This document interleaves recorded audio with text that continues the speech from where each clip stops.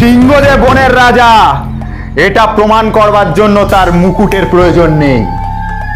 আর তার অ্যাটিটিউডই পরিচয় দেয় তার বনের রাজা।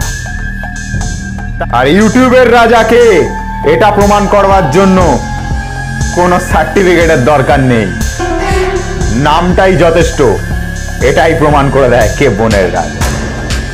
নমস্কার বন্ধুরা welcome back to Som's classroom আজকের ভিডিওতে আমরা স্টার্ট করব আলোর প্রতিফলন চ্যাপ্টারটা থেকে ক্লাস টুয়েলভের চ্যাপ্টার আলোর প্রতিফলন। সেখান থেকে তোমাদের আজকের পড়ানো স্টার্ট হবে। স্টার্ট করব আলোর প্রতিফলন, একদম পুরো ধোয়া উড়িয়ে রেখে দেবো। কোনো কথা হবে না। আজকে জাস্ট আলোর প্রতিফলনকে ফাটিয়ে রেখে দেবো। আজকে আমি এখানে হাজির তোমাদের এই আলোর প্রতিফলনকে ছিন্ন ভিন্ন করে রেখে দেওয়ার জন্য। Welcome back again to Som's classroom চলো, আজকে স্টার্ট করব আলোর প্রতিফলন দিয়ে। আলোর প্রতিফলন হচ্ছে ক্লাস টুয়েলভ এর অপটিক্স এর ফার্স্ট চ্যাপ্টার আজকের এই ভিডিওটা তোমরা যারা দেখছ, এই ভিডিওটা দেখার আগে প্রত্যেককে আমি বলব, আমার ক্লাস টেনের আলোর যে ফার্স্ট পার্টটা রয়েছে, দেখো তোমাদের এই স্ক্রিনের ওপর একটা থামনেলের পিকচার আসছে। এই ভিডিওটাতে ক্লিক করবে, ওপরে আই বাটনে লিঙ্ক দিয়ে দেবো, পারলে ভিডিওর ডেসক্রিপশন বক্সে লিঙ্ক দিয়ে দেবো। লিঙ্কে ক্লিক করে আলো কি, আলোর স্পিড কত, আলো সম্পর্কে বেসিক কিছু ইনফরমেশন যদিও তোমাদের ক্লাস টুয়েলভে প্রয়োজন কম আছে, তবুও এই ইনফরমেশনগুলো জেনে রাখো, কারণ বিভিন্ন জায়গাতে তোমাদেরকে এই কোয়েশ্চেনগুলো জিজ্ঞাসা করতে পারে। তো আলো সম্পর্কে আরও ভালো ইনফরমেশান জানতে হলে, আলো সম্পর্কে আরও নলেজ গেন করতে হলে ক্লাস টেনের ফার্স্ট যে ভিডিওটা আমি দিয়েছিলাম আলোর ওপর, দেখো যে কালারের ব্ল্যাক কালারের থামনেলটা আসছে, এই ভিডিওটা তোমরা একবার জাস্ট খালি দেখে নেবে। ঠিক আছে? আর আমি ভিডিও ডেসক্রিপশন বক্সও তোমাদেরকে মানে লিঙ্কটা দিয়ে দেবো, ওটা একবার দেখো, অন্তত একবার দেখো। এই ভিডিওটা দেখার আগে যারা ওই ভিডিওটা একবার অন্তত দেখে আসবে, তাদের কাছে আলোর প্রতিফলন বুঝতে খুব খুব সুবিধা হবে। বুঝতে পারা গেল? ওখানে আলো কি আলো স্পিড কত? সমস্ত জিনিস সম্পর্কে আলো আলো সম্পর্কে আরও এক্সট্রা কিছু ইনফরমেশন সেগুলো আমি দেওয়ার চেষ্টা করেছি। তো আজকের ভিডিওতে আমরা যেটা নিয়ে স্টার্ট করব সেটা হচ্ছে আলোর প্রতিফলন। আলোর প্রতিফলন জিনিসটা কি সেটা আমি পড়াবো। তবে তার আগে আমি একটা কথা বলতে চাই। এই যে আমি তোমাকে দেখতে পাচ্ছি দেখতে পাচ্ছি? পাচ্ছি না। তুমি আমাকে দেখতে পাচ্ছ। কি বলছি আমি? তোমরা আমাকে দেখতে পাচ্ছ? বা এই যে আমি এই যে পেনটা রয়েছে আমার কাছে, লাল কালারের মার্কারটা এটাকে আমি দেখতে পাচ্ছি। ঠিক আছে? বা তুমি তোমার পাশে থাকা যে তুমি যে বই খাতা নিয়ে এখন বসেছো, কিছু কিছু ছেলেমেয়েরা বসেছে, কিছু কিছু ছেলেমেয়েরা বসেনি। তা তোমার যে বই খাতাটা দেখতে পাচ্ছ, বা তুমি তোমার মাকে দেখতে পাচ্ছ, তুমি তোমার বন্ধুকে দেখতে পাচ্ছ, তুমি তোমার গার্লফ্রেন্ডকে মানে দেখতে পাচ্ছ, বা এখন হয়তো ফোনে রয়েছে যে সেটা যার জন্য দেখতে পাও, সেটা কি কোন ঘটনার জন্য ঘটে? ফিজিক্সের কোন ঘটনার জন্য ঘটে? সেটা আলোর প্রতিফলনের জন্য ঘটে। ঠিক আছে? যদি আলোর প্রতিফলন না হতো, তোমার ওই সুন্দর গার্লফ্রেন্ডের মুখের ওপর আলো পড়তো না, সেখান থেকে রিফ্লেক্ট করে তোমার চোখে আসতো না, ফলে তুমি দেখতে পেতে না। ঠিক আছে? তার মানে কি? মানে হচ্ছে আলোর প্রতিফলন হচ্ছে এমন একটা জিনিস যার জন্য আমরা সমস্ত বস্তুকে কি করতে পারি? দেখতে পাই। ঠিক আছে? তাহলে আলোর প্রতিফলন হচ্ছে, আলোর প্রতিফলনের জন্য আমরা সব বস্তুকে এই যে একটা মদন গোপাল, এসে নিয়ে যাচ্ছে বাইক চালিয়ে যাচ্ছে। এই ছাগলটাকে আমি দেখতে পেলাম একটু আগে। এটা হচ্ছে মানে দেখো, চালাচ্ছে দেখো বাইকটা এই এই ছাগলটাকে দেখতে পেলাম একটু আগে, তো এটাও কিন্তু আলোর প্রতিফলনের জন্য। ঠিক আছে? তো আলোর প্রতিফলন হচ্ছে এমন একটা ঘটনা, এমন একটা ফেনোমেনা যার জন্য আমরা সকল বস্তুকে কি করতে পারি? আমাদের, আমরা দেখতে পাই। ঠিক আছে? বুঝতে পারা গেল? এবার ব্যাপারটা হচ্ছে, এই আলোর প্রতিফলন তো আমরা বুঝব। তার আগে আমরা কিছু জিনিস বুঝব। আলোর উৎস কি? আলোর উৎসকে কভাগে ভাগ করা হয়, এই জিনিসগুলো সম্পর্কে বুঝব। দেখো, যে সকল বস্তু আলোকে বিকিরণ করে, তাদেরকে আমরা আলোর বস্তু আলোক বস্তু বলে জানি। এক্সাম্পল হিসাবে আমি মানতে পারি মোমবাতি। মোমবাতির তুমি ধরো জ্বালালে। তাহলে মোমবাতি কি করবে? তোমাকে আলো দেবে।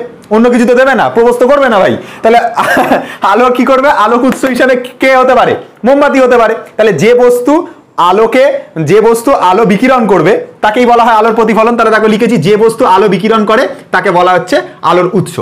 এবারে আলোর উৎসকে না দুটো ভাগে ভাগ করা হয়। আলোক উৎসকে দুভাগে ভাগ করা হয়। একটা হচ্ছে সপ্রভ বস্তু বা স্বয়ংপ্রভ বস্তু সপ্রভ মানে কি? যে নিজে জলে ঠিক আছে? নিজে জলে যেমন হচ্ছে যে বস্তু নিজেই আলো বিকিরণ করে বা যে নিজে জলে ঠিক আছে? যে বস্তু নিজে আলো বিকিরণ করতে পারে। তাকে আমরা বলে থাকি হচ্ছে সপ্রভ বস্তু। যেমন মোমবাতি। মোমবাতি জলে আমাদেরকে আলো দেয়। তাহলে মোমবাতি একটা সপ্রভ বস্তু। সূর্য। সূর্য কি হয়? সূর্য থেকে আমরা আলো পাই। নিজে আমাদেরকে হচ্ছে কি দিচ্ছে?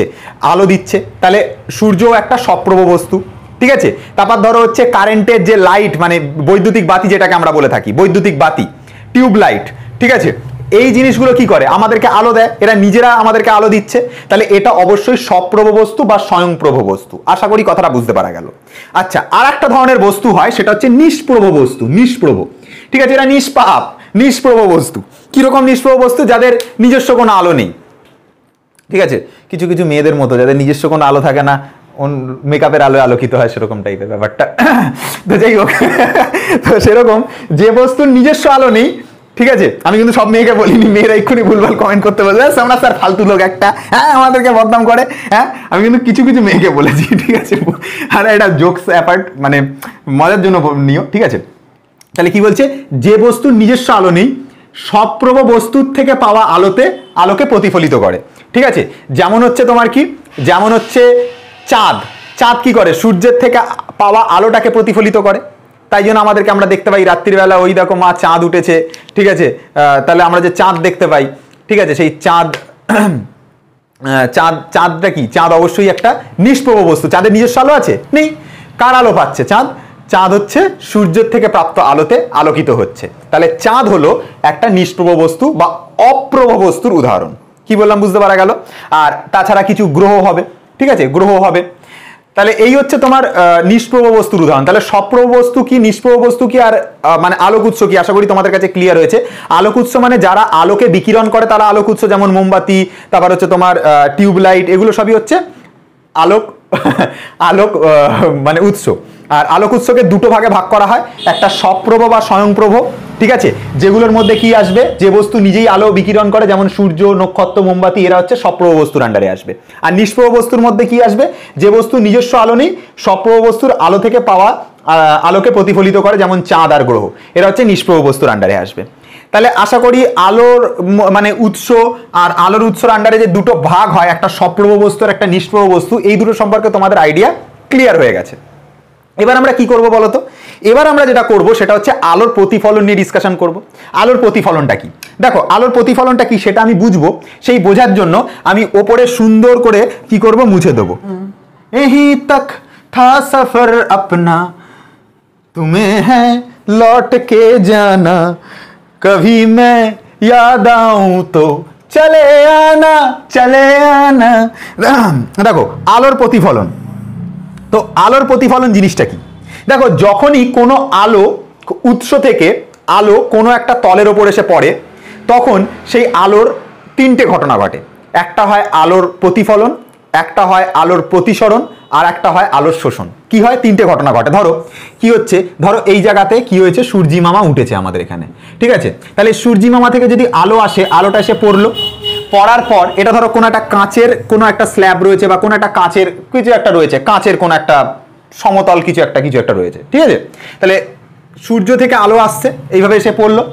পড়ার পর ওই আলোর কিছু অংশ দিক পরিবর্তন করে প্রথম মাধ্যমেই ফিরে আসবে।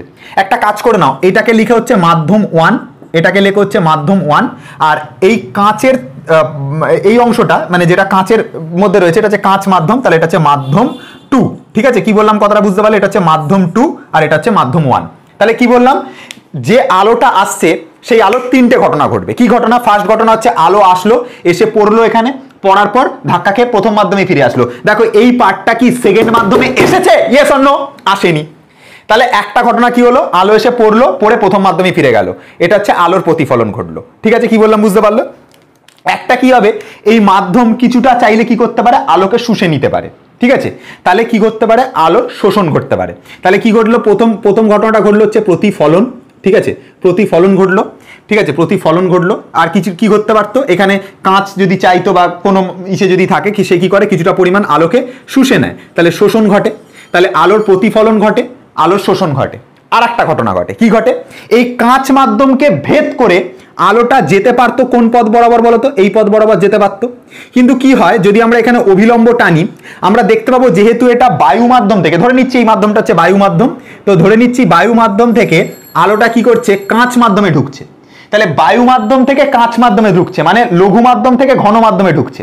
তুমি একটা কথা ঠান্ডা মাথায় চিন্তা করো, জলের মধ্যে তুমি যদি একটা ইটকে মারো, জলের মধ্যে তুমি যদি একটা ইটকে মারো, তুমি কি দেখতে পাবে? যে ইটটা জলের মধ্যে ঢোকার পর তার স্পিড বেড়ে যাবে না, কমে যাবে? স্পিড কমে যাবে। তাহলে ও কি এই ফুল স্পিড নিয়ে যেতে পারবে? পারবে না।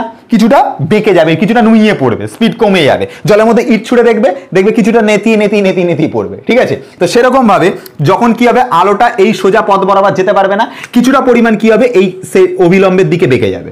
কথাটা কি বললাম বুঝতে পারা গেল? তাহলে অবিলম্বের দিকে যে বেঁকে গেল এই ঘটনাটাকে আমরা কি বললাম? আলোর প্রতিসরণ, যখন আলো প্রথম মাধ্যম থেকে দ্বিতীয় মাধ্যমে প্রবেশ করল, এই ঘটনাটাকে আমরা বলে থাকব আলোর প্রতিসরণ। এই জায়গাটাকে আমরা বলে থাকব হচ্ছে আলোর প্রতিসরণ। দেখো, একটা জিনিস বোঝার চেষ্টা করো, প্রতিসরণ এর পরের টপিক আলোর প্রতিফলন, যখন আমরা টোটালটা শেষ করব, আলোর প্রতিসরণ রয়েছে আমাদের।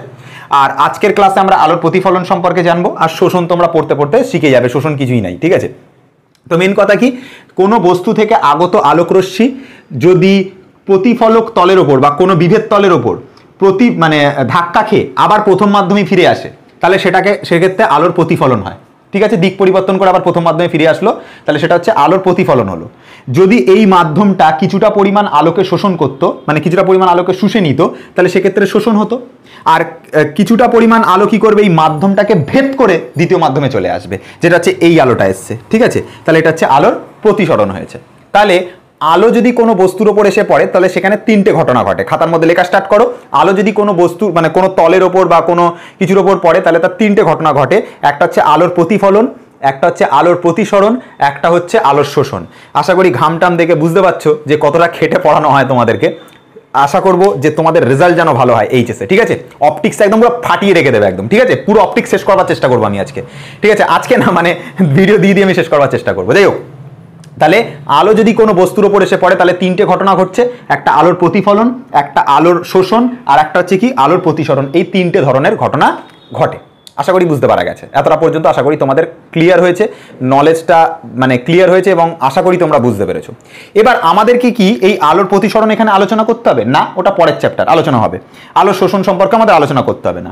এখন আমরা যেটা পড়ব সেটা হচ্ছে আলোর প্রতিফলন সম্পর্কে। আলোর প্রতিফলনের কি ডেফিনেশন সেটা আমি লিখে রেখেছি।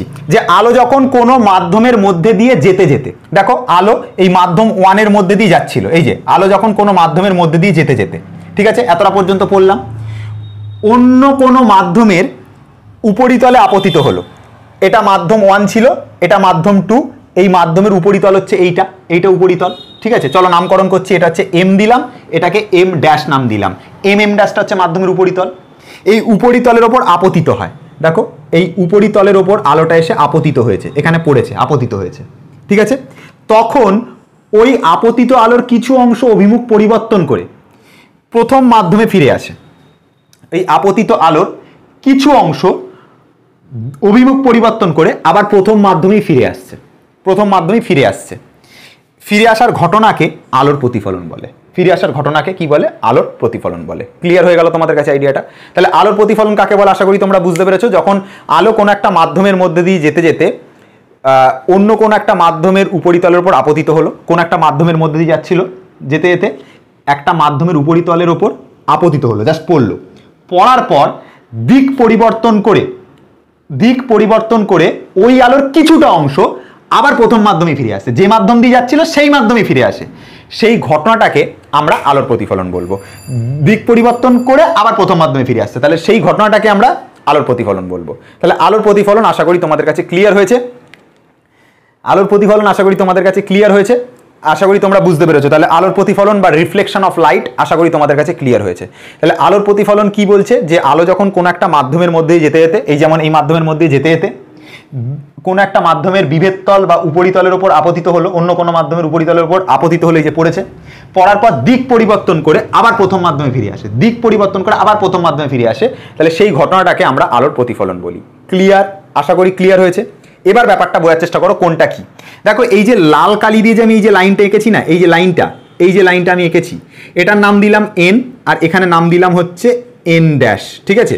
এই এন এন ড্যাশটাকে বলা হয় অভিলম্ব। খাতার মধ্যে এখানে লেখা স্টার্ট করো এন এন ড্যাশটা কি? অভিলম্ব। লম্ব টেনেছি, তাহলে এটা হচ্ছে অভিলম্ব, ঠিক আছে? আচ্ছা এম এম ড্যাশ যেটা, সেটা হচ্ছে কি? এম এম ড্যাশটা হচ্ছে তোমাদের প্রতিফলক তল, কারণ এই তলটার ওপরেই আলো প্রতিফলিত হয়েছে। তাহলে এটা হচ্ছে কি? প্রতিফলক তল। ঠিক আছে? এতটা পর্যন্ত বুঝতে পারা গেল? প্রতিফলক তল। মানে যে তলের ওপর আলো প্রতিফলিত হয়, সেই তলটাকে আমরা বলে থাকি প্রতিফলক তল। খাতার মধ্যে লিখে নেবে পুরো লাইনটা যেটা বললাম। ঠিক আছে? আর বলব না। ভিডিও ব্যাক করে শোনো। ঠিক আছে? তারপর হচ্ছে আপতিত আলোক রশ্মি। কোনটা আপতিত আলোক রশ্মি? মনে করো এই জায়গাটার নাম এ দিলাম, এই জায়গাটার নাম ও দিলাম। তাহলে এ থেকে স্টার্ট করে ও পর্যন্ত এ থেকে স্টার্ট করে ও পর্যন্ত, এটা হচ্ছে আপতিত আলোক রশ্মি তাহলে এ, ও, এটা হচ্ছে আপতিত আপতিত আলোক রশ্মি ঠিক আছে? আপতিত আলোক রশ্মি ক্লিয়ার হলো কিনা দেখো? আপতিত আলোক রশ্মি বুঝতে পারা গেল? তারপর দেখো, ও থেকে স্টার্ট করে আবার যেটা ফিরে যাচ্ছে এখানে বিতে ও বি ও বি যেটা। এই ও বিটা হচ্ছে কি? প্রতিফলিত আলোক রশ্মি প্রতিফলিত। প্রতিফলিত। ঠিক আছে? প্রতিফলিত আলোক রশ্মি এ ও আপতিত আলোক রশ্মি, ও বি প্রতিফলিত আলোক রশ্মি। ক্লিয়ার এতটা পর্যন্ত? দেখো, এইখানে যে কোনটা তৈরি হচ্ছে এ, ও এ, ও, এন, এই যে কোনটা এই যে কোনটা এটা আপতন কোণ। কোন এ, ও, এন, এটা কি? আপতন কোণ। আপতন কোণ। ক্লিয়ার কিনা দেখো? আপতন কোণ। আর একটা জিনিস দেখো, এন, ও, বি, এই যে কোনটা কোন এন, ও, বি, এটা কি? প্রতিফলন কোণ। প্রতিফলন কোণ। ঠিক আছে, প্রতিফলন কোণ। একটা কথা মাথায় রাখো, একটা কথা সবসময় মাথায় রাখবে যে আপতন কোণ আর প্রতিফলন কোণ সবসময় অভিলম্বের সাথে আঁকবে। কি বললাম? আপতন কোণ আর প্রতিফলন কোণ সবসময় অভিলম্বের সাথে আঁকবে। ভালো করে কথাটা শোনো। এন ও বি যেটা, প্রতিফলন কোণ, এই যে কোণ এন ও বি, এটা কিন্তু দেখো আমি প্রতিফলন কোণটা এইটার সাথে এঁকেছি। এই অভিলম্বটার সাথে, এই অভিলম্বটার সাথে কোণ এঁকেছি। নাইনটি পার্সেন্ট ছেলেমেয়েরা কি ভুলটা করে বলো তো? বাচ্চা ছেলে তো, এখনও ফিজিক্সের অনেক কিছু জানে না। তারা কি করে? তারা এইটার সাথে কোনটা করে দেয়? ব্যাস, ভুলটা হয়ে যায়। এইটার সাথে কোন? করাই যাবে না। এটার সাথে কোন? করাই যাবে না। এটার সাথে কোন? করাই যাবে না। তাহলে কার সাথে কোন করব? অবিলম্বের সাথে। এই যে অবিলম্বটা থাকবে, তার সাথে কোনটা করব? কি বললাম, বুঝতে পারা গেল? তাহলে এ, ও, এন যেটা, সেটা হচ্ছে আপতন কোন কোন সবসময় কার সাথে নিতে বললাম? কার সাথে নিতে বললাম? কার সাথে? কামান কামান, কার সাথে নিতে বললাম? অবিলম্বের সাথে। তাহলে এ ও এনটা হচ্ছে আপতন কোণ এন ও বিটা হচ্ছে কি? এন ও বিটা হচ্ছে প্রতিফলন কোণ।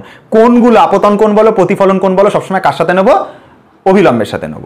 ক্লিয়ার হলো? আচ্ছা যে পয়েন্টটাতে আলো এসে পড়েছে যে ও পয়েন্টটা, এটা হচ্ছে আপতন বিন্দু। ওটা হচ্ছে আপতন বিন্দু। ক্লিয়ার হলো তোমার কাছে? লিখে নেবে, ওটা হচ্ছে আপতন বিন্দু। আমি লিখলাম না। তাহলে এই হচ্ছে তোমাদের টোটাল এই পিকচারটার উপর যা যা জিনিস হতে পারে, সেটা আমি তোমাদেরকে বলে দিলাম। তাহলে আলোর প্রতিফলন বুঝতে পেরেছ? আলোর প্রতিফলন হওয়ার পর যে পিকচার ডায়াগ্রাম এটা, সেটা তোমরা বুঝতে পেরেছ। আলোর মধ্যে কি কি ঘটনা ঘটে? আলো কোনো তলের ওপর পড়লে শোষণ হয়, প্রতিফলন হয়, প্রতিসরণ হয়, সেটা তোমরা বুঝতে পেরেছ। আশা করি ক্লিয়ার হয়েছে তোমাদের কাছে। এবার কোনটাকে কি বলে? যেমন এম এম ড্যাশটাকে বলা হয় হচ্ছে প্রতিফলক তল, বুঝতে পেরেছ? এন এন ড্যাশটাকে বলে অবিলম্ব বুঝতে পেরেছ? এ ওটা আপতিত আলোক এই যে দেখে নাও এ থেকে ও যেটা এসে পড়ছে, সেটা আপতিত আলোক ও থেকে যেটা বিতে চলে যাচ্ছে ও বিটা প্রতিফলিত আলোক তারপরে দেখো এ ও এন আপতন কোণ এ দেখে এ ও এন আপতন কোণ তারপরটা কি? এন ও বি প্রতিফলন কোণ ওটা হচ্ছে আপতন বিন্দু, ব্যাস সব শেষ। এতটা পর্যন্ত আশা করি তোমরা ক্লিয়ার করতে পেরেছ আইডিয়াটা তোমাদের কাছে আশা করি ক্লিয়ার হয়েছে। এইটুকুই তোমার লাগবে এটুকু ডেফিনেশন এখানে কিছু চাই না, এইটুকু জিনিস তোমাদেরকে জানতে লাগবে, যতটুকু লাগবে আমি তোমাদেরকে বললাম। এবার, আলোর প্রতিফলনের দুটো সূত্র আছে। এই দুটো সূত্র খুব ইম্পর্টেন্ট এই দুটো সূত্রের উপর বেস করে নিউমেরিক্যালও আসে নিউমেরিক্যালটা আমরা সলভ করবার চেষ্টা করব। আর আলোর দুটো প্রতিফলনের সূত্র আমরা জানব। এবার আলোর প্রতিফলনের দুটো ধামাকাদার সূত্রের ওপর। আলোর প্রতিফলনের দুটো সূত্র কি বলছে? যে আপতিত আলোক রশ্মি, প্রতিফলিত আলোক রশ্মি এবং প্রতিফলকের ওপর আঁকা যে অবিলম্ব, এরা একই সমতলে থাকে, একই প্লেনের মধ্যে থাকে। দেখো, ব্যাপারটা বোঝার চেষ্টা করো। ধরো, এটা হচ্ছে একটা প্রতিফলক তল, এটা হচ্ছে একটা প্রতিফলক তল, ঠিক আছে? মানে এর মধ্যে এসে আলো পড়বে। ঠিক আছে? এবার কি হয়েছে? যে ঘটনাটা কি ঘটেছে? এখান থেকে একটা আলো আসলো। এখান থেকে আলো আসলো, এসে পড়ল। এটা হচ্ছে আপতিত আলোক রশ্মি। নামকরণ করা যাক, এটা এ, এটা ও। এটা হচ্ছে আপতিত আলোক রশ্মি। আর এখান থেকে ও থেকে যে আলোক রশ্মিটা এদিকে ফিরে যাবে, বি পর্যন্ত, ও বি, এটা হচ্ছে প্রতিফলিত আলোক রশ্মি। ঠিক আছে? তাহলে আপতিত আলোক রশ্মি, প্রতিফলিত আলোক রশ্মি, আপতন বিন্দুতে, এই প্রতিফলক তলের ওপর আপতন বিন্দুতে আঁকা যে অভিলম্ব মানে এখান থেকে ধর আমি অভিলম্ব টানলাম এরকমভাবে, এটা একটা অভিলম্ব। এন নাম দিলাম, এটাকে চাইলে এদিকে একটু বাড়াতে পারো। ঠিক আছে? এন ড্যাশ নামকরণ করলাম, চলো। এন এন ড্যাশ নামকরণ করলাম। এরা একই সমতলে থাকে। দেখো, ভালো করে বোঝার চেষ্টা করো। আপতিত আলোক রশ্মি, প্রতিফলিত আলোক রশ্মি, প্রতিফলক তলের উপর, আপতন বিন্দুতে আঁকা অভিলম্ব এরা একই প্লেনের মধ্যে থাকে, একই তলের মধ্যে থাকে, একই সমতলের মধ্যে থাকে। মানে তুমি চাইলে একটা পেজের মধ্যে বা একটা তলের মধ্যে তুমি এটাকে ধরাতে পারো। বোঝা যাচ্ছে না না? আচ্ছা দেখো, ব্যাপারটা বোঝার চেষ্টা করো। এইখানটাতে এটা হচ্ছে একটা তল, ঠিক আছে? এটা একটা খাতার প্লেনটা হচ্ছে একটা তল, ঠিক আছে? এবার কি হয়েছে? এবার এই তলের মধ্যে তুমি চাইলে এইখানটাতে ধরো আপতিত এই এটা ধরো প্রতিফলক তল, সবুজ পেনটা ঠিক আছে? এটা হচ্ছে আপতিত আলোক রশ্মি নিলে। ঠিক আছে? এই লাল কালি দিয়ে লাল কালির যে পেনটা, সেটা হচ্ছে আপতিত আলোক রশ্মি। ঠিক আছে? আচ্ছা এইটা হচ্ছে প্রতিফলিত আলোক রশ্মি। এই- এইগুলোকে আমি এইদিকে মার। কি হয়েছে দেখো? এই যে, এইটা এইটা হচ্ছে একটা তল, ঠিক আছে? এটা হচ্ছে আমাদের কি? প্রতিফলক তল। ভালো করে বুঝবে। এটা হচ্ছে প্রতিফলক তল। এই প্রতিফলক তলের উপর কি কি রশ্মি এসে পড়ছে দেখো? এটা হচ্ছে আপতিত আলোক রশ্মি, এটা হচ্ছে প্রতিফলিত আলোক রশ্মি। হয়ে গেল?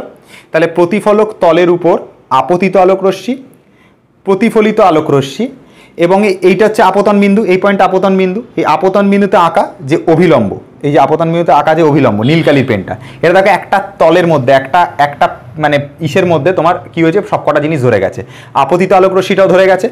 এই লাল কালির যে পেনটা এটা আপতিত আলোক রশ্মি ধরে গেছে। এ দেখো প্রতিফলিত আলোক রশ্মিটাও ধরে গেছে। এই আপতন বিন্দুতে যে অভিলম্বটা আঁকা হয়েছে নীলকালি দিয়ে, সেটা, সেটাও ধরে গেছে। ঠিক আছে? এরা একই সমতলে, একটাই তলের মধ্যে এরা ধরে যাচ্ছে। তাহলে একই সমতলে এরা অবস্থান করে। তাহলে কি বললাম? ব্যাপারটা বোঝার চেষ্টা করো। আপতিত আলোক রশ্মি, প্রতিফলিত আলোক রশ্মি। দেখো বলা আছে, আপতিত আলোক রশ্মি, প্রতিফলিত আলোক রশ্মি। যা যা বলেছে সেটাই বলছি। আপতিত আলোক রশ্মি, প্রতিফলিত আলোক রশ্মি। এই যে, আপতিত, দেখে নাও দেখে নাও ভালো করে ব্যাপারটা বোঝার চেষ্টা করো। আপতিত আলোক রশ্মি, প্রতিফলিত আলোক রশ্মি। আপতন বিন্দুতে প্রতিফলকের উপর আঁকা অভিলম্ব। আপতন বিন্দুতে এটা প্রতিফলক, তার উপর আঁকা অভিলম্ব। একই সমতলে থাকে, একই সমতলে থাকে। খাতাম। বুঝতে পারা গেছে তারা পর্যন্ত first law clear second law কি বলছে দেখো? আপতন কোণ আর প্রতিফলন কোণ দুটো সমান হয়। দেখো, এটা হচ্ছে আপতন কোণ, বলেছি অভিলম্বের সাথে কোণ নিতে। এটাকে আই দিয়ে ডিনোট করা হয় ইনসিডেন্ট অ্যাঙ্গেল আর এটা হচ্ছে রিফ্লেক্টেড অ্যাঙ্গেল তাই জন্য স্মল আর দিয়ে ডিনোট করা হয়। ঠিক আছে? তাহলে কি বলছে? আপতন কোণ আর প্রতিফলন কোণ দুটো সমান হয়। মানে ব্যাপারটা হচ্ছে এইটা হয় আই আর আর এই দুটো অ্যাঙ্গেল ইকুয়াল হয়। এটা ইকুয়াল হয়। ঠিক আছে? তাহলে কি বলছে? আপতন কোণ কোন কার সাথে আঁকতে বলেছি? নিচেরটার সাথে, গ্রাউন্ডের সাথে? না না না না না। কার সাথে আঁকতে হবে? এইটার সাথে, অবিলম্বের সাথে। আপতন কোণ আর প্রতিফলন কোণ মানে যেটা আর, সেটা সমান হবে। মানে সব সময় যত ডিগ্রি কোণে আলো এসে পড়বে, তত ডিগ্রি কোণে আলো বেরোবে। মনে করো, ধরো এইখানে আলো এসে তিরিশ ডিগ্রি কোণে পড়ল। সাপোজ তিরিশ ডিগ্রি কোণে আলো এসে পড়ল। তা তিরিশ ডিগ্রি কোণেই বেরোবে। এখান থেকে বেরোনোর সময় তিরিশ ডিগ্রি কোণেই বেরোবে। এই কথাটা মাথায় রেখো। ঠিক আছে? কি বললাম? বুঝতে পেরেছ? দেখো, একটা কোয়েশ্চেন দিচ্ছি টুইস্ট কোয়েশ্চেন একটু। ধরো, তোমাকে এরকম দিয়ে দিল। ধরো এরকম একটা আলোক রশ্মি দিয়ে দিল, দিয়ে এইটা দিয়ে দিল, দিয়ে এইখানে দিয়ে দিল, দিয়ে বলল এই অ্যাঙ্গেলটা হচ্ছে ষাট ডিগ্রি, ঠিক আছে? তাহলে বলল যে প্রতিফলন কোনটা কত, আর কত এটা জিজ্ঞাসা করতে বলল। পারবে করতে এটা? আরামসে করতে পারবে? করো দেখি এটা। তো এবার এরকম যদি কিছু কোয়েশ্চেন দেখো, যে এইরকম একটা কোয়েশ্চেন দিয়েছে তোমাদেরকে, যেটা বললাম, যে এখান থেকে একটা আলোক রশ্মি আসছে, এখানে পড়ছে, আর এইভাবে প্রতিফলিত হচ্ছে, এই জায়গার কোনটা ষাট ডিগ্রি দিয়ে দিয়েছে, দিয়ে বলছে যে প্রতিফলন কোন কত।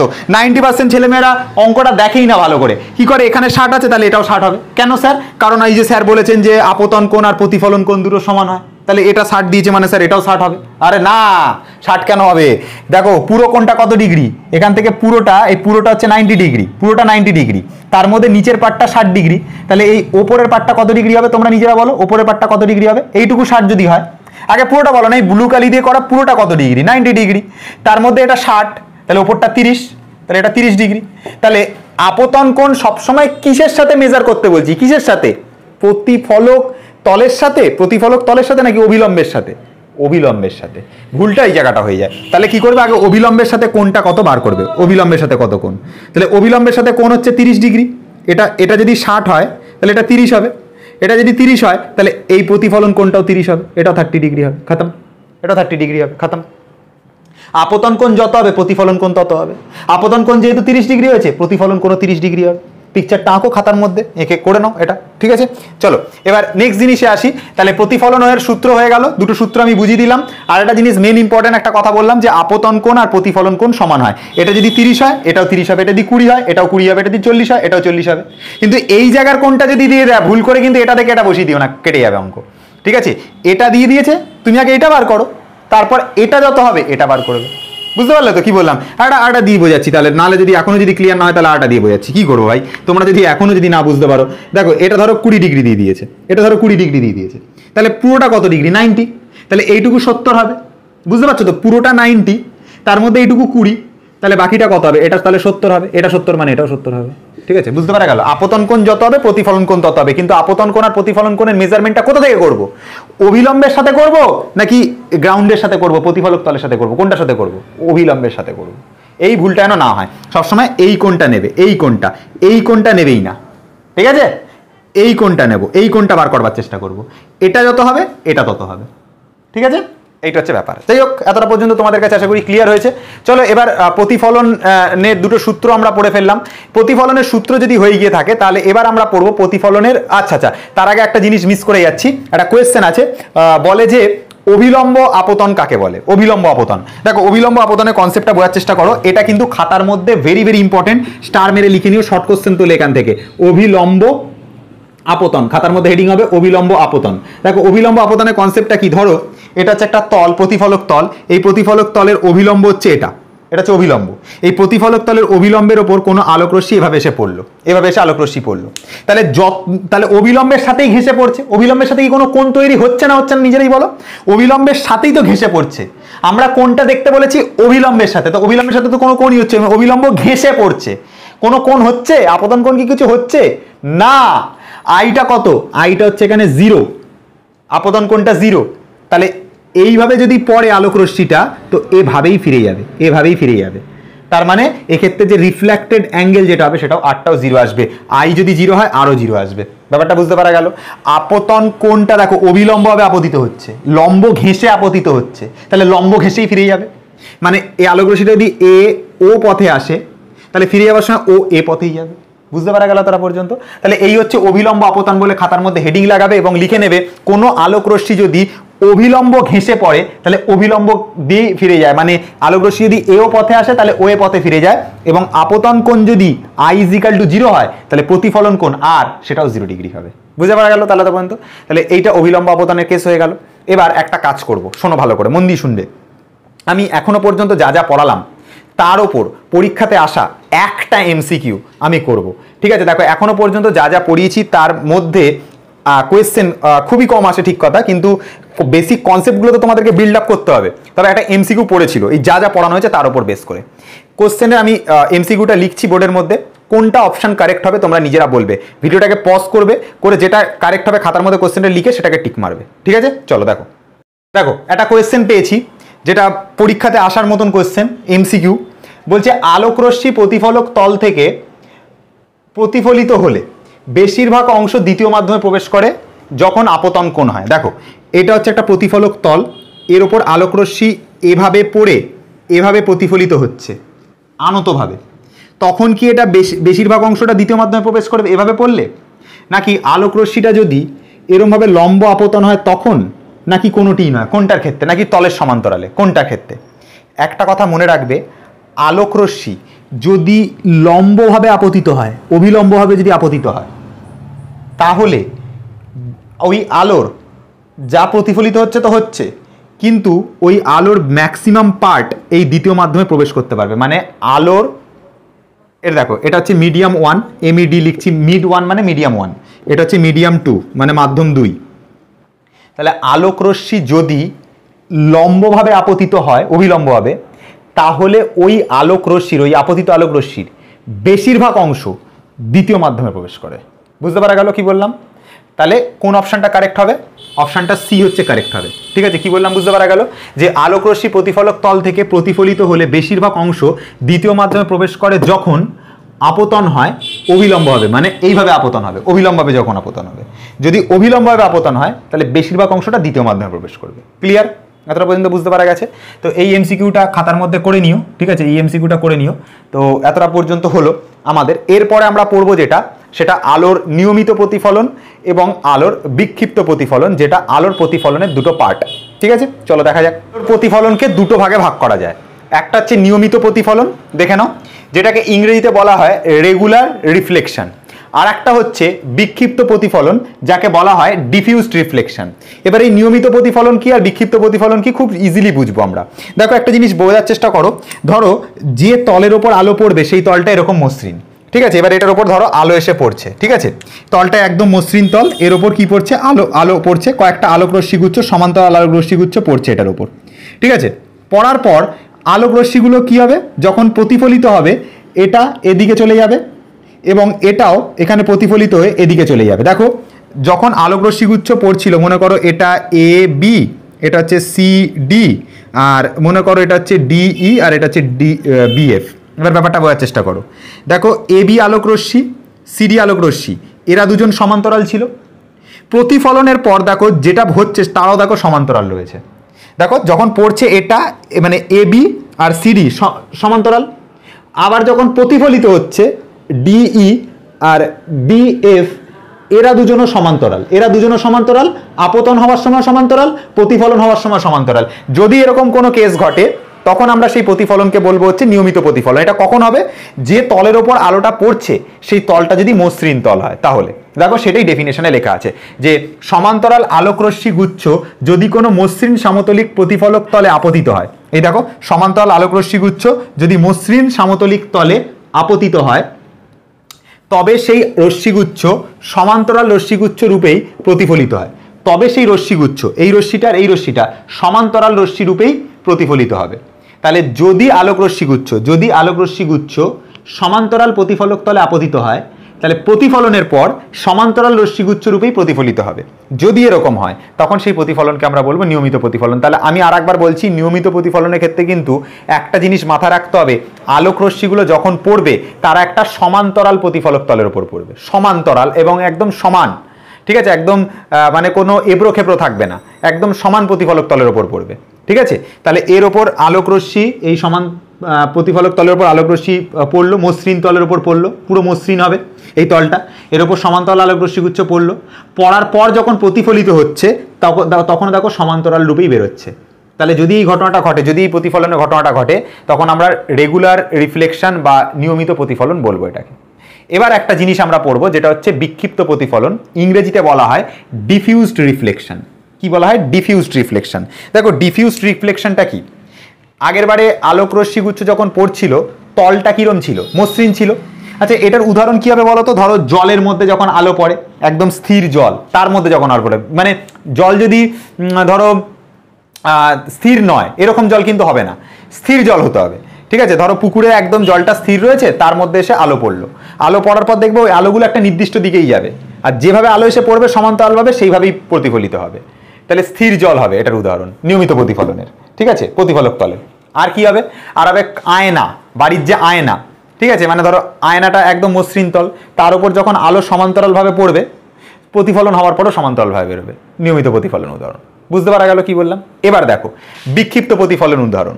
বিক্ষিপ্ত প্রতিফলন উদাহরণের পরে আসছি, তার আগে বোঝো, আগেরটার ক্ষেত্রে তলটা যেরকম মসৃণ ছিল, এর ক্ষেত্রে তলটা কিন্তু আর মসৃণ থাকবে না, এর ক্ষেত্রে তলটা এরকম এবড়ো খেবড়ো হবে। এভাবে এবড়ো খেবড়ো হবে। এবার এই এবড়ো খেবড়ো তলের ওপর যখন আলো এসে পড়বে, ধরো আলো এসে এরকমভাবে পড়ল, তাহলে আলোটা ধরো এদিকে ছিটকে গেল। আবার একটা আলো ধরো এরকমভাবে পড়ল, তো আলোটা এভাবে ছিটকে গেল। আবার একটা আলো ধরো এভাবে পড়ল, সেই আলোটা এরমভাবে ছিটকে গেল।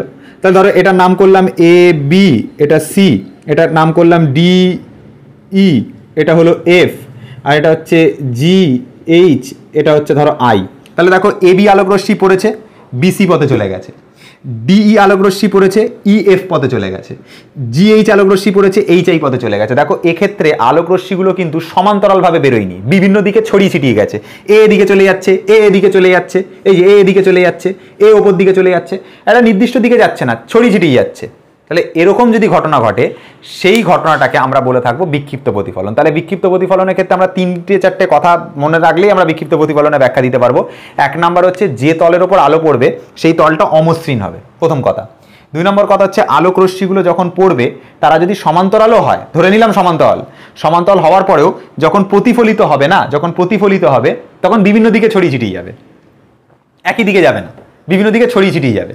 বুঝতে পারা গেল কথাটা কি বললাম? তাহলে এই প্রতিফলনকে আমরা বলব হচ্ছে বিক্ষিপ্ত প্রতিফলন। দেখো তাই বলছে, সমান্তরাল রশ্মিগুচ্ছ যদি কোনো অমসৃণ প্রতিফলক তলে আপতিত হয়, তাহলে সেই রশ্মিগুচ্ছ প্রতিফলনের পর বিভিন্ন দিকে ছড়িয়ে পড়ে। এই দিস ইজ দ্য ওয়ার্ড বিভিন্ন দিকে ছড়িয়ে পড়ে, বিভিন্ন দিকে ছড়িয়ে পড়ে। দেখো এদিকে চলে যাচ্ছে এদিকে চলে যাচ্ছে এদিকে চলে যাচ্ছে, বিভিন্ন দিকে ছড়িয়ে পড়ে। আর যখন প্রতিফলিত হচ্ছে, এরা কিন্তু সমান্তরালভাবে আর বেরোবে না। সমান্তরালভাবে পড়লেও সমান্তরালভাবে বেরোবে না। মনে করো তলটা এরকম হতো এরকমভাবে সমান্তরালভাবে পড়ল আলোক রশ্মিগুলো প্রতিফলন হওয়ার পর এদিকে গেল। এ এরকম গেল, এ ধরো এখানে পড়ে এদিকে চলে গেল। সমান্তরালভাবে পড়- মানে বেরোবে না। সমান্তরালভাবে পড়তে পারে, কিন্তু বেরোনোর সময় সমান্তরালভাবে বেরোবে না। বিভিন্ন দিকে ছড়িয়ে ছিটিয়ে যাবে আর তলটা অমসৃণ হবে। এরকম প্রতিফলনকে আমরা বলব হচ্ছে বিক্ষিপ্ত প্রতিফলন।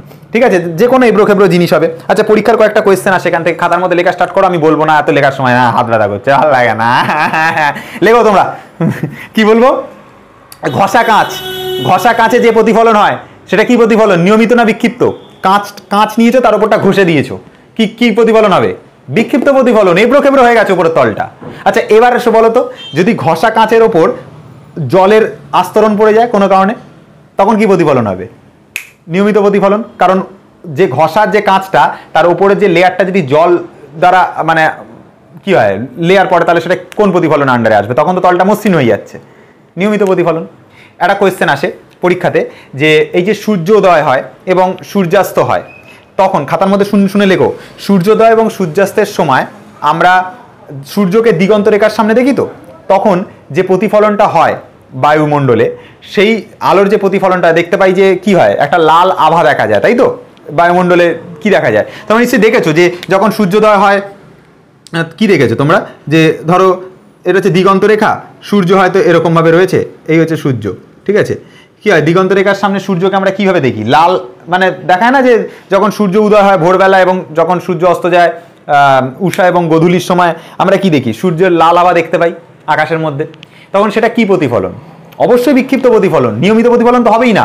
কারণ বায়ুমণ্ডলের ধূলিকণার মধ্যে বায়ুমণ্ডলের ধূলিকণার মধ্যে সূর্যের আলো বিক্ষিপ্ত প্রতিফলন ঘটাচ্ছে। বুঝতে পারা গেল কি বললাম? তা বিক্ষিপ্ত প্রতিফলন উদাহরণ। তাহলে কি বললাম? ঘষা কাঁচ বিক্ষিপ্ত প্রতিফলনের মানে ঘষা কাঁচের মধ্যে যখন আলো পড়ছে, পড়ার পর আলোগুলো বিভিন্ন দিকে ছড়িয়ে যাচ্ছে, ওটা বিক্ষিপ্ত প্রতিফলন উদাহরণ হবে।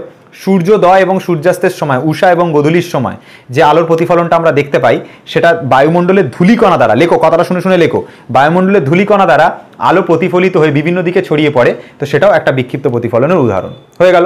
আর একটা জিনিস আসে পরীক্ষাতে, ধরো তুমি তোমার গার্লফ্রেন্ডকে নিয়ে সিনেমা দেখতে গেছো, আর কি হলো তোমাকে তোমার গার্লফ্রেন্ড জিজ্ঞাসা করল যে, এই যে সিনেমা আমরা দেখছি আহ, শোনা তো বলতে পারবে যে এইখানে যে প্রতিফলনটা হচ্ছে আলোর তো এটা কি কি প্রতিফলন? নিয়মিত প্রতিফলন না বিক্ষিপ্ত প্রতিফলন? তুমি যদি ফিজিক্সের ছাত্র না হও যদি ফিজিক্স ঠিকঠাক জায়গায় না শেখো তুমি বলবে ভাই নিয়মিত প্রতিফলন না। সিনেমার পর্দায় যে আলোর প্রতিফলন দেখা যায় সেটা বিক্ষিপ্ত প্রতিফলন ঠিক আছে? গার্লফ্রেন্ডের সামনে ইমপ্রেশনটা জমি আমার কথা বলে ঠিক আছে? যাই হোক তাহলে কি বললাম? সিনেমার পর্দায় যে আলোর প্রতিফলন দেখা যায় সেটা হচ্ছে বিক্ষিপ্ত প্রতিফলন। কেন বলো তো সিনেমার পর্দা দেখবে ঘষা থাকে। মানে কি হয়? মসৃণ হয় না। ঘষা থাকে বলতে কি? মসৃণ হয় না। ঘষা থাকে কথাটা ঠিক না। মসৃণ হয় না। অমসৃণ হয়। আর দেখবে সাদা হয়। সাদা কেন হয়? আমি তোমাদেরকে বলব, একটু পরেই বলব। ঠিক আছে? আচ্ছা তার আগে বলে নিই যে সিনেমার পর্দা যদি মসৃণ হতো, তাহলে আলো পড়তো, একটা নির্দিষ্ট দিকে যেত, একটা নির্দিষ্ট দিকে দর্শকরা দেখতে পেতো। মনে করো সাপোজ ধরো, এটা ধরো সিনেমার পর্দা, আমি বোঝানোর জন্য বলছি। তাহলে আলোগুলো এরমভাবে এসে পড়তো? এরকমভাবে নির্দিষ্ট দিকে যেত, এখানে থাকা দর্শকগুলো দেখতে পেত। যারা এইখানের দর্শক, তারা কিন্তু তারা কিন্তু এই আলো মানে দেখতে পেত না বা সিনেমাটাকে দেখতে পেত না। কিন্তু যদি অমসৃণ করে দিই, তাহলে আলো চারিদিকে ছড়িয়ে ছিটিয়ে পড়বে, সব দিকে দর্শকরা দেখতে পাবে। তাহলে ওই জন্য সিনেমার পর্দা সবসময় অমসৃণ করা হয়। পরীক্ষা কোয়েশ্চেনটা আসে, সিনেমার পর্দা মসৃণ করা হয় না অমসৃণ করা হয়? উত্তর লিখতে হবে অমসৃণ করা হয়। যদি বলে কেন করা হয়? বলতে হবে যদি সিনেমার পর্দা মসৃণ করা হতো তাহলে আলোর নিয়মিত প্রতিফলন ঘটতো এবং আলো পড়ার পর একটা নির্দিষ্ট দিকে ছড়িয়ে যেত, একটা নির্দিষ্ট দিকে যেত, ছড়িয়ে যেত না, একটা নির্দিষ্ট দিকে যেত, ফলে এক নির্দিষ্ট কিছু দর্শক দেখতে পেত। ঠিক আছে, একটা একটা সাইডের দর্শক দেখতে পেত। এবার অমসৃণ করার জন্য কি হয়েছে? আলো যখনই সিনেমার পর্দার মধ্যে পড়ছে, চারিদিকে ছড়িয়ে যাচ্ছে। ফলে সব দিকে দর্শকরা দেখতে পাচ্ছে। এটা হচ্ছে লজিক বুঝতে পারা গেল? তাহলে সিনেমার পর্দায় অমসৃণ করা হয় এবং সেক্ষেত্রে কিন্তু বিক্ষিপ্ত প্রতিফলন ঘটে। কি বললাম? বুঝতে পারা গেছে তো? আচ্ছা এবার একটা জিনিস বলছি, শোনো। সাদা বস্তু সব আলোকে প্রতিফলিত করে, কালো বস্তু সব আলোকে শোষণ করে। ঠিক আছে? কি বললাম? ভালো করে শোনো। সাদা সাদা বস্তু কি করে? সবাইকে প্রতিফলিত করে। সব আলোকে। লিখবে, সব আলোকে প্রতিফলিত করে। ঠিক আছে? ঠিক আছে? সবাইকে প্রতিফলিত করে। কালো বস্তু কি করে? কালো বস্তু কি করে? সবাইকে শোষণ করে। সবাইকে, সব আলোকে কি করে? সবাই, সব আলোকে শোষণ করে। সবাই না, সব আলো হবে অ্যাকচুয়ালি সব আলোকে শোষণ করে। আর অন্য সব কালার কি করে? যে কালারের বস্তু সেই কালারটাকে প্রতিফলিত করে। কথাটা কি বললাম বুঝতে পারা গেছে? তাহলে দেখো এবার ব্যাপারটা বোঝার চেষ্টা করো। ধরো এইটা হচ্ছে লাল কালারের পেন এই লাল কালারের পেনটার ঢাকনাটা আমি লাল দেখছি। কেন বলো তো এ নিজে লাল কালারের এ কেবলমাত্র লাল কালারটাকে রিফ্লেক্ট করছে, বাকি কালারগুলোকে শোষণ করছে। তাহলে লাল কালারের হোক বা সবুজ কালারের হোক বা ব্লু কালারের হোক বা অন্য কোনো কালার হোক, তারা যে কালারের, কেবলমাত্র সেই কালারটাকে প্রতিফলিত করে, তাই জন্য আমরা সেই কালারটাকে দেখতে পাই। যারা সাদা হয়, তারা সব কালারকে প্রতিফলিত করে। যেমন ধরো, এই যে আমাদের হোয়াইট বোর্ডটা এর সব কালারকে প্রতিফলিত করে। তাই জন্যই আমরা এর মধ্যে সমস্ত কালারের লেখা দেখতে পাচ্ছি। যেমন দেখো, ব্ল্যাক দেখতে পাচ্ছি, রেড দেখতে পাচ্ছি, এ দেখো, ব্লু দেখতে পাচ্ছি, সব কালারকে প্রতিফলিত করছে। সাদা সাদা, সব কালারকে প্রতিফলিত করে। ওই জন্য লিখেছি, সাদা, সব কালারকে প্রতিফলিত করে। আর যারা ব্ল্যাক হয় তারা কেবলমাত্র ব্ল্যাকটাকে প্রতিফলিত করে, বাকিগুলোকে শোষণ করে নেয়। দেখো, আমি একটা এক্সাম্পল হিসেবে দেখো, এর মধ্যে যেমন আমি লাল কালার দিয়ে দেখো, লাল লাল লাল রং করলাম, ঠিক আছে? দেখো, এ কি করবে? লাল কালার আমি কিন্তু লাল দিয়েছি। দেখো জামাটা কি কালারের জামাটা ব্ল্যাক কালারের সব কালারকে কী করবে? শুষে নেবে। আমি লাল কালার দিলাম, লাল কালারটাকে দেখো শুষে নিয়েছি, ওই জন্য দেখো তুমি দেখতে পাচ্ছ না। বুঝতে পারা গেল ব্যাপারটা কি বললাম? তাহলে কালো কি করছে বা ব্ল্যাক কি করছে, সব কালারকে শুষে নেয়। এই জন্য ব্ল্যাকের ওপর আমি যদি কোনো কালার দিয়ে লিখি, যেমন এই রেড কালার দিয়ে আমি লিখছি জামার ওপর, তাহলে রেড কালারকে কিন্তু প্রতিফলিত করছে না। ওই রেড কালারটাকে পর্যন্ত শুষে নিচ্ছে। ব্যাপারটা বুঝতে পারলে? তাহলে কালো সব কালারকে শুষে নেয়। ঠিক আছে? সাদা সব কালারকে প্রতিফলিত করে। আর অন্য কালারগুলো যে কালারের হয়, কেবলমাত্র সেই কালারটাকে প্রতিফলিত করে। এটা হচ্ছে ব্যাপার। ঠিক আছে? তাহলে মনে থাকবে? তাহলে এই কথাটা এই কথাটা, আর ওই যে কথাটা আমি তিন নম্বর আর একটা কথা বলেছি, খাতার মধ্যে লিখবে। এই জন্য সিনেমার পর্দা কিন্তু সাদা কালারের করা হয়। ধরো সিনেমার পর্দা কালো কালারের করতো। কি প্রবলেম হতো? কোনো কালারকে প্রতিফলিত করতো না। আলো পড়তো, সব শুষে নিত। দেখতেই পেতাম না কিছু, ঘোড়ার ডিম দেখতে পেতাম। যেমন আমার জামার মধ্যে দেখো লাল কালার দিয়ে রং করলাম, কিন্তু দেখাই যাচ্ছে না চোখে, ঠিক করে। তাহলে সব কালারটাকে শুষে নিত। লাল কালারের করতাম স্যার, কি মজা হতো। আরে ভাই, লাল কালারের করলে তুমি লাল কালারের আলো ফেললে সেটাকে কেবলমাত্র প্রতিফলিত করতো। সবুজ কালারে করলে সবুজ কালারে আলো ফেললে সেটাকে প্রতিফলিত করতো। তাহলে করা যাবে না অন্য কোনো কালার?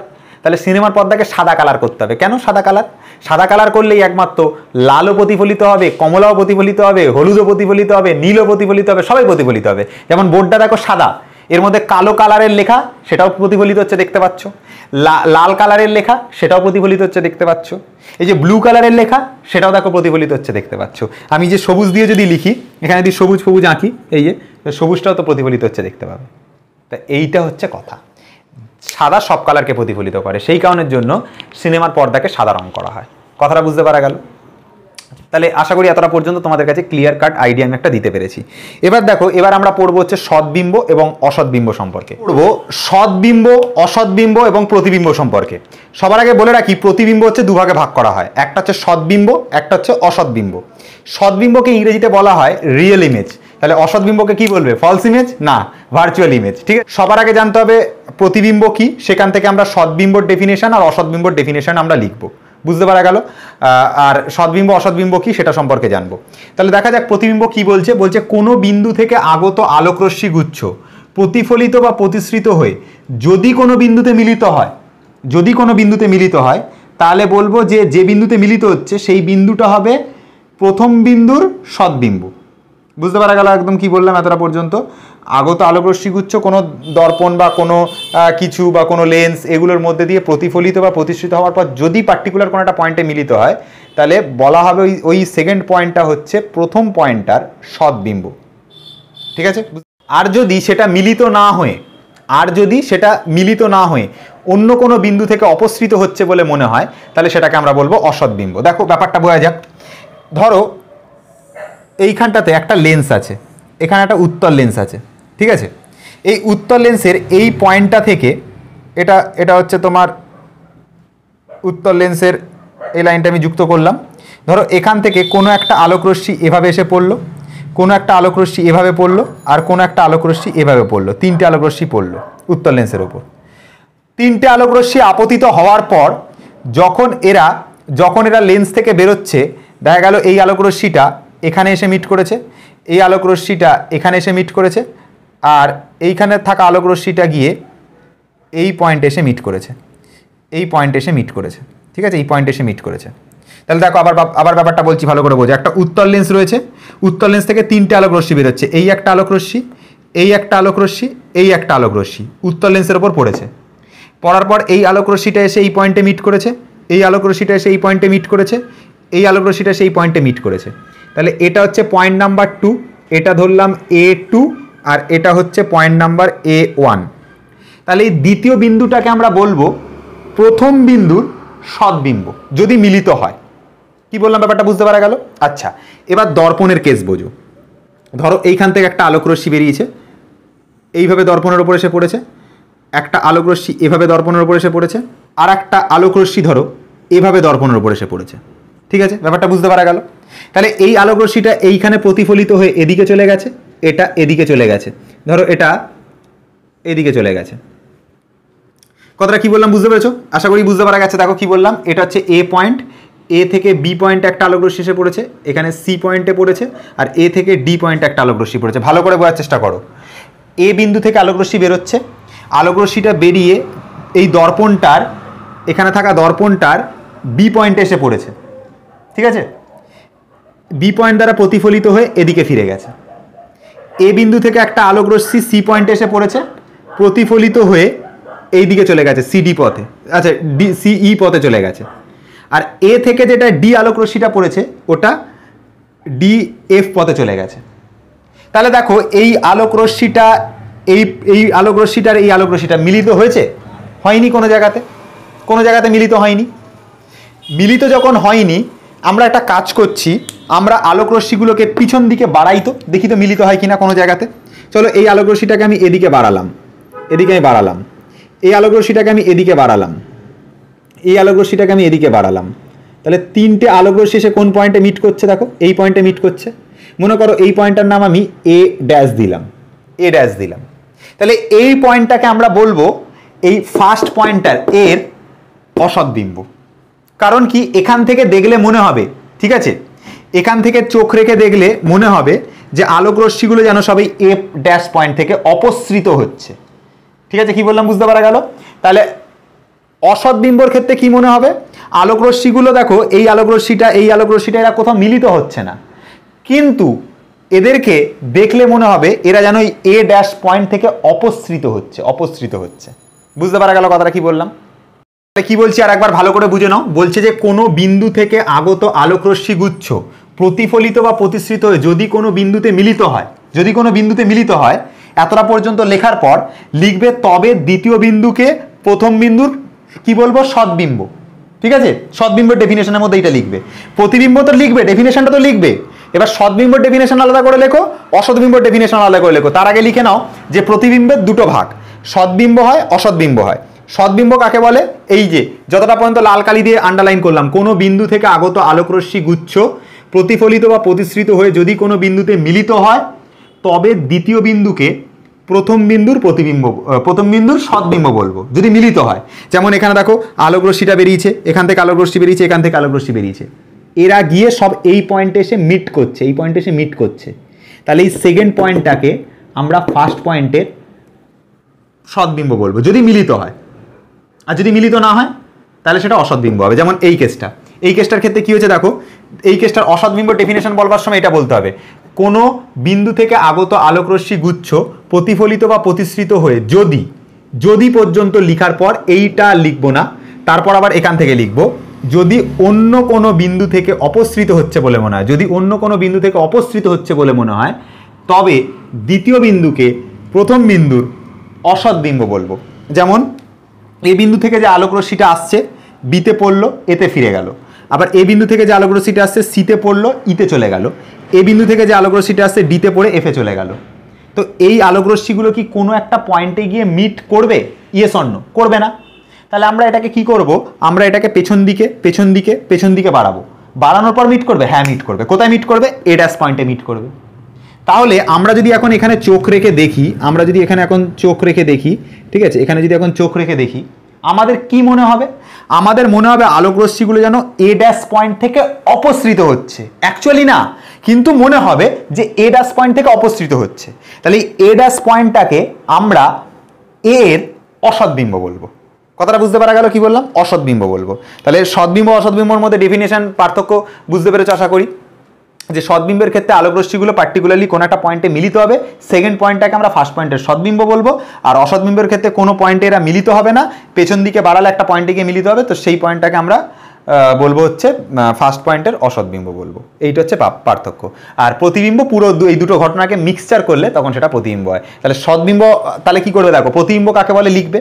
লেখার পর সদ্বিম্বর ডেফিনেশন লেখার সময় ইয়ে বললাম, কোনো বিন্দু থেকে আগত আলোক রশ্মি গুচ্ছ প্রতিফলিত বা প্রতিশ্রিত হয়ে যদি কোনো বিন্দুতে মিলিত হয় তবে দ্বিতীয় বিন্দুকে প্রথম বিন্দুর সদ্বিম্ব বলে। এটা লিখবে সদ্বিম্বর ঘরে।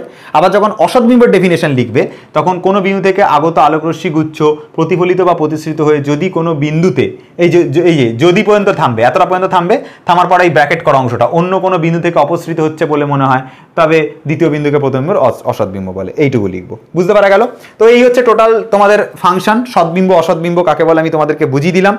সদ্বিম্বকে একটা কথা মনে রাখবে, সদ্বিম্বকে ইংরেজিতে বলা হয় রিয়েল ইমেজ রিয়েল ইমেজ বলে, আর যেটা অসদ্বিম্ব সেটাকে বলে ভার্চুয়াল ইমেজ কখনোই কিন্তু ফলস ইমেজ কেউ লিখে দিয়েছ না ভার্চুয়াল ইমেজ ঠিক আছে? তাহলে সদ্বিম্ব হলো রিয়েল ইমেজ আর অসদ্বিম্ব হলো ভার্চুয়াল ইমেজ আশা করি এতটা পর্যন্ত বুঝতে পারা গেছে। ক্লিয়ার এতটা পর্যন্ত? দেখো সদ্বিম্ব অসদ্বিম্বর মধ্যে তাহলে পার্থক্যটা বানাতে পারবে। এর ক্ষেত্রে মিলিত হবে, আর ওর ক্ষেত্রে কি হবে? অপসৃত হচ্ছে বলে মনে হবে। সদ্বিম্ব অসদ্বিম্বর পার্থক্য রেডি হয়ে যাবে। আচ্ছা সদ্বিম্বকে আমরা কি করতে পারব? আমরা চোখে দেখতে পারব প্লাস হচ্ছে পর্দাতে ফেলতে পারব। ঠিক আছে? চোখেও দেখতে পাবো, পর্দাতেও ফেলতে পারব। দুটোই করতে পারব। আর অসদ্বিম্বর ক্ষেত্রে কি হবে মনে রাখবে? এটাকে আমরা চোখে তো দেখতে পাবো, কিন্তু পর্দাতে পর্দাতে আমরা এটাকে ফেলতে পারব না। কতটা কি বললাম বুঝতে পারা গেল? তাহলে সদ্বিম্বকে চোখে দেখা যায় এবং পর্দাতে ফেলা যায়। অসদ্বিম্বকে চোখে দেখা যায়, কিন্তু পর্দাতে ফেলা যায় না। এটা কিন্তু একটা পার্থক্য তুমি বানাতে পারবে। ঠিক আছে? কি বললাম বুঝতে পারা গেল? আর পার্থক্য তো একটা ডেফিনেশন দিয়ে হবে। তাহলে দুটো পার্থক্য এখান থেকে তৈরি করা যায়। হয়ে গেল তারা পর্যন্ত। আচ্ছা। দর্পণে আলোক রশ্মির চ্যুতি। খাতার মধ্যে হেডিং লাগাও। আলোক রশ্মির চ্যুতি deviation of the light of the light due to reflection ঠিক আছে? তাহলে কি বলছে? দেখো, বলছে প্রতিফলনের ফলে আলোক রশ্মি মূল পথ থেকে যতটা কোণে ঘুরে যায়, তাকে বলা হচ্ছে আলোক রশ্মির চ্যুতি। মানেটা কি? বোঝা গেল না, আমি জানি বুঝতে পারা যায়নি। ধরো, এখানটাতে একটা কোনো তল রয়েছে। এই তলের ওপর আলোক রশ্মি এভাবে এসে পড়ল। এটা হচ্ছে আলোক রশ্মি পড়েছে। ঠিক আছে, বুঝতে পারলে এতটা পর্যন্ত আলোক রশ্মি পড়েছে। আমি কি করলাম, এখানে সবার আগে একটা অবিলম্ব টেনে নিলাম। সবার আগে এরকমভাবে একটা অবিলম্ব টেনে নিলাম। এই হচ্ছে আমাদের আলোক রশ্মি পড়েছে, আর আমি কি করেছি, এটা ধরো এ এটা ধরো ও এ ও আলোক রশ্মি ধরো এখানে পড়েছে। আমরা কি করেছি এ ও আলোক রশ্মি পড়েছে, আর আমরা একটা অবিলম্ব টেনে নিয়েছি, এটা এন এটা হচ্ছে এন ড্যাশ তাহলে আলোক রশ্মিটা, এই যে তলটা, এখানে যে প্রতিফলক তলটা রয়েছে, এটা হচ্ছে এম এম ড্যাশ ঠিক আছে, বুঝতে পারা গেল? দেখো কি বললাম। এ ও হচ্ছে আলোক রশ্মি এম এম ড্যাশ তলের ওপর এ ও আলোক রশ্মি পড়েছে। যদি এই তলটা না থাকতো তাহলে আলোক রশ্মিটা কীভাবে যেত? আলোক রশ্মিটা যেত হচ্ছে এভাবে যেত। এভাবে যেত। ঠিক তো? কিন্তু সেভাবে যাবে না। আলোক রশ্মি প্রতিফলিত হয়ে কোন দিকে চলে যাবে? এদিকে চলে যাবে। এদিকে চলে যাবে। ঠিক তো? দেখে না ভালো করে বাবা ব্যাপারটা বোঝো ভালো করে। আলোক রশ্মি প্রতিফলিত হয়ে কীভাবে চলে যাবে? এদিকে চলে যাবে। এতটা পর্যন্ত বুঝতে পারা গেল। আমি আবার বলছি এ থেকে ওতে আলোক রশ্মি এসে পড়ল। যদি এম এম ড্যাশটা তল থাকার কারণে আলোক রশ্মিটা ও থেকে এই, এখানে ধরো বি নাম দিলাম, ও বি পথে চলে গেল আলোক রশ্মিটা যদি এই তলটা না থাকতো, তাহলে আলোক রশ্মিটা এরকম সোজা যেত, এদিক বরাবর যেত। মনে করো এই জায়গাটার নাম সি দিলাম, তাহলে ও সি পথে যেতে পারতো।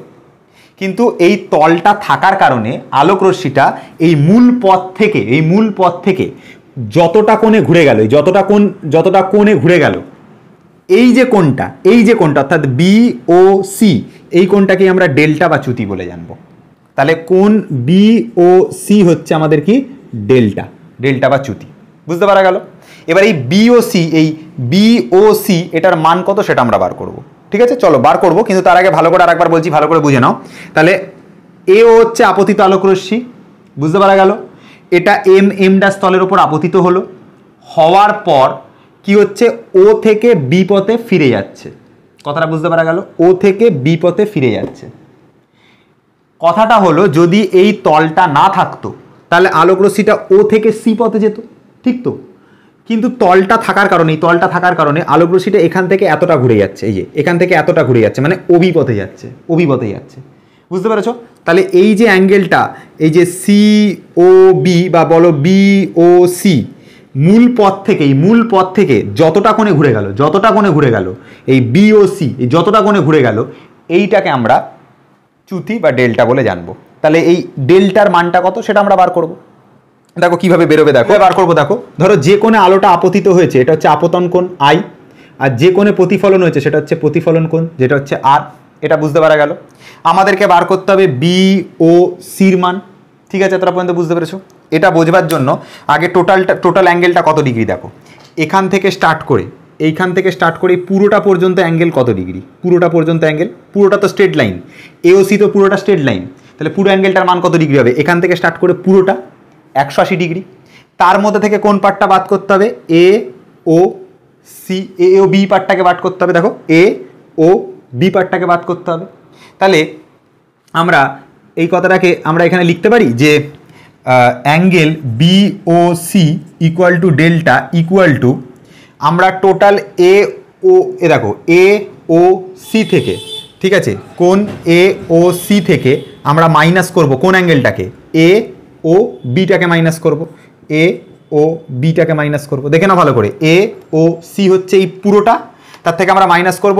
এ, ও বিকে মাইনাস করব। ক্লিয়ার এতটা পর্যন্ত? দেখো, এ, ও, সি মানে কত ডিগ্রি আমি এখানে বা দিয়ে লিখে লিখে যাচ্ছি delta equal to A, O, C মানে কত ডিগ্রি এ ও সি মানে যে পুরো সরল লেখাটা, এই সরল লেখা কত ডিগ্রি হয়? পুরোটা কত ডিগ্রি? একশো আশি ডিগ্রি। তাহলে এ ও সির জায়গাতে আমরা একশো আশি লিখলাম, minus A O B A ও বির মান কত? এ ও বির মান কত বলো? এ ও বির মান পাওয়ার জন্য আমাকে এই আই এর সাথে এই আরটাকে যুক্ত করতে হবে না। আই প্লাস আর তো। এটুকু আই এটুকু আর পুরোটাকে যুক্ত করলে আই প্লাস আর তাহলে এ ও বির জায়গাতে আমরা রাখছি আই প্লাস আর এটা রাখছি। অ্যাঙ্গেল আই অ্যাঙ্গেল আর এটা রাখছি। বুঝতে পারা গেল? দরকার নেই, অ্যাঙ্গেল দিয়ে লিখতে পারো, না লিখলেও হবে। আই প্লাস আরই রাখছি, কোনো দরকার, ঝামেলা করে লাগেনি আই প্লাস আর এতটা পর্যন্ত বুঝতে পারা গেল? আচ্ছা আপতন কোণ আর প্রতিফলন কোণ সমান, এটা আমরা প্রতিফলনের দ্বিতীয় সূত্রে পড়েছিলাম তো, যে আই ইকুয়াল টু আর হয়। এটা আমরা প্রতিফলনের দ্বিতীয় সূত্রে পড়েছিলাম। তাহলে আমরা কি করছি? আর এর জায়গাতে আই বসিয়ে দিতে পারি। তাহলে এই আর এর জায়গাতে আমরা আই যদি বসাই, তাহলে এটার মান আসবে ডেল্টা ইজিক্যাল টু একশো আশি degree minus I plus R এর জায়গাতে আই বসানোর জন্য আর একবার আই তাহলে ডেল্টা ইজিক্যাল টু একশো আশি degree minus I plus I মানে টু আই তাহলে টু আই এইটা হচ্ছে টোটালটা ভ্যালু এটা হচ্ছে টোটালটা ভ্যালু বুঝতে পারা গেল? তাহলে চ্যুতি কোণের রাশিমালা কত হলো? একশো আশি ডিগ্রি মাইনাস টু আই। যখন আলোর প্রতিফলন হবে, তখন, ঠিক আছে? আলো মূল পথে না গিয়ে যদি কিছুটা কোণে বেঁকে যায়, তখন কত মান হবে? একশো আশি ডিগ্রি মাইনাস টু আই। কিন্তু যদি অঙ্ক করবার সময় এরকমও হতে পারে যে শুধু প্রতিফলন কোনটা দিয়ে দিল, দিয়ে বলছে চ্যুতিগত। তাহলে কি করে বার করব? তখন আই এর জায়গাতে আর পুট করব। এটা হতে পারে অথবা আর একটা হতে পারে, দেখো, অথবা এটা হতে পারে। ডেল্টা ইজ ইকাল টু একশো আশি ডিগ্রি মাইনাস টু আই এর জায়গাতে আমরা, দেখো আই এর জায়গাতে আর বসাতে পারি। তো আই এর জায়গায় আর বসিয়ে টু আর এটা হতে পারে, এই ইকুয়েশনটা হতে পারে। এটাও কারেক্ট এটাও কারেক্ট দুটো ইকুয়েশন খাতার মধ্যে লেখা লেখা স্টার্ট করো। এটা দিয়ে নিউমেরিক্যাল পড়ে কিন্তু। এটা দিয়ে এমসিকিউতে খুব নিউমেরিক্যাল পড়ে, খুব এমসিকিউতে আসে এই কোশ্চেনটা ঠিক আছে, তাহলে কি বললাম? আলোক রশ্মিটা যদি এই এম এম ড্যাশ প্রতিফলক তলটা না থাকতো, তাহলে এটা এওসি পথে যেত। কিন্তু প্রতিফলক তল থাকার জন্য এটা ওবি পথে গেছে, বুঝতে পারা গেছে? আমাদেরকে চ্যুতিটা বার করতে হবে। তো মূল পথ থেকে যে কোণে বেঁকেছে, সেইটা বার করতে হবে। তো মূল পথ এটা, এর থেকে যে কোণে বেঁকেছে, যে কোণে বেঁকেছে মানে এই যে ডেল্টা কোণটা, এই ডেল্টা কোণটাকে বার করতে হবে। তাহলে একটা কাজ করা যাক। তো এই ডেল্টা কোণটাকে বার করবার নিয়মটা কি? ডেল্টা কোণটাকে বার করবার নিয়মটা হচ্ছে, এইটুকু অ্যাঙ্গেলকে বার করবার জন্য আমাদেরকে এই পুরো অ্যাঙ্গেলটা থেকে, পুরো অ্যাঙ্গেলটা থেকে এই পার্টটাকে বাদ করতে হবে, এই পার্টটাকে বাদ করতে হবে। তাহলে দেখো, আমরা এওসি হচ্ছে পুরো অ্যাঙ্গেল, তার থেকে আমরা কোনটাকে বাদ করব? এ ও বিকে বাদ করব। দেখো এওসি থেকে আমরা বাদ করব এ ও বিকে এবার এ ও সি মানে কত ডিগ্রি? এ ও সি মানে একশো আশি ডিগ্রি। মাইনাসের জায়গা মাইনাস আছে। এ ও বি মানে কোনটা? এ ও বি মানে হলো আই আর আর এর যোগ। এ ও বির জায়গাতে আই প্লাস আর বসালাম, ঠিক আছে? দেখো আই আর আর সমান হবে?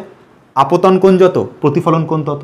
তাহলে আর এর জায়গাতে আই পুট করব। তো আর এর জায়গাতে আই পুট করলাম। আই প্লাস আই মানে টু আই তো টু আই বসিয়েছি। এক ডেল্টার মান একশো আশি ডিগ্রি মাইনাস টু আই তো এটাও কারেক্ট এটাও কারেক্ট দুটো ইকুয়েশনই কারেক্ট আশা করি বুঝতে পারা গেছে, এতটা পর্যন্ত।